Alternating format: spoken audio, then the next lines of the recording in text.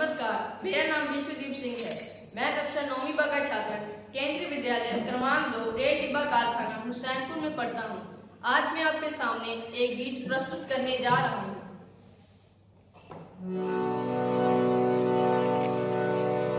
कोई